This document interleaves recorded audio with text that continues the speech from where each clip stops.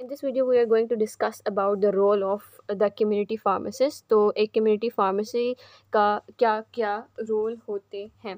सबसे पहले तो हमारे पास परचेजिंग ऑफ़ द मेडिसिन तो इन्वेंट्री कंट्रोल करनी पड़ती है। तो आप पहले मेडिसिन लेके आओगे तो उसको बेचोगे ना तो आपने परचेजिंग करनी होती है।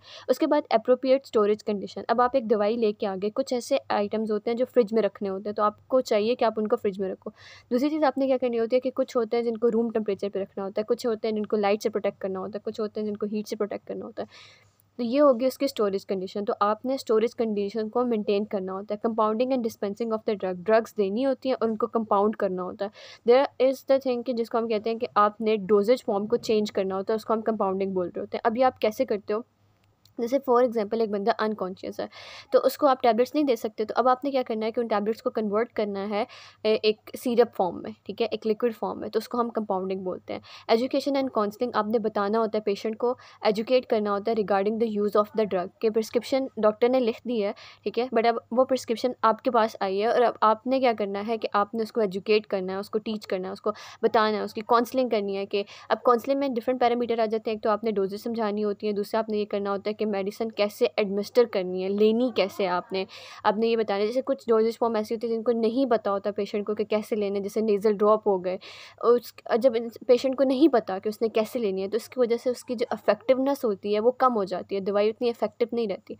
तो ये काउंसलिंग करना prescription analyse and the review prescription भी आपने देखनी होती है कि प्रिस्क्रिप्शन जो है वो ठीक आ रही है या नहीं आ रही। उसके बाद जो इसमें, अब ये पाँच स्टेप ऐसे हैं जो कम्युनिटी फार्मासिस्ट को प्ले करने पड़ते हैं। उसके बाद एडिशनल रोल में क्या आता है? इन क्रॉनिक डिज़ीज़ मेडिसिन प्रोलोंग जैसे क्रॉनिक डिज़ीज़ होती है ना तो मेडिसिन का जो यूज़ होता है, वो प्रोलोंग यूज़ होता है।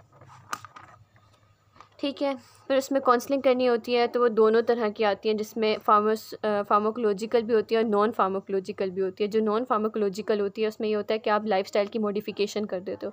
जैसे अगर आप चाहते हो कि आपका ब्लड प्रेशर कंट्रोल रहे तो आपको सोडियम इंटेक को लिमिटेड करना पड़ेगा। आई एम मैंशनिंग लिमिटेड ये मैंने ये नहीं कहा कि आपने छोड़ देना होता है। फिर आपने स्क्रीनिंग करनी होती है before the onset of the disease point of the care testing onset of the disease उसके बाद health professional activities like controlling obesity और हेल्थ प्रमोशनल एक्टिविटीज़ कर मतलब ऐसी चीज़ें जो सेहत को बेहतर करती हैं। तो एडिशनल आपने ये भी करना है कि आप इस तरह की चीज़ें जो है ना, वो पेशेंट्स को या लोगों को समझा सकते हैं कि ओबेसिटी को कंट्रोल कर लें स्मोकिंग को कंट्रोल कर लें, और आप रेफ़र भी कर सकते हैं, ठीक है?